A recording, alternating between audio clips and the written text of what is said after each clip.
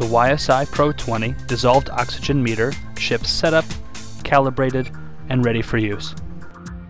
It arrives with a certified calibration report from our YSI authorized service center.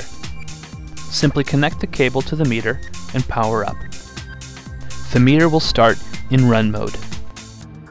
By default, the meter will display temperature, dissolved oxygen, and barometric pressure. To begin sampling, remove the probe storage sleeve. For surface water and downwell applications, submerge the probe to the desired depth and allow the sensor to equilibrate. This may take 30 to 40 seconds. Note that the dissolved oxygen sensor requires stirring, so be sure to move the probe while sampling.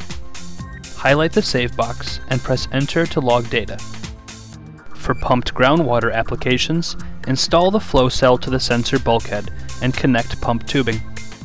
As water flows through the cell, allow time for the sensor to equilibrate before logging data.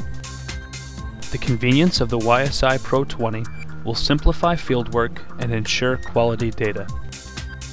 Contact a Fondriest Applications engineer for more information.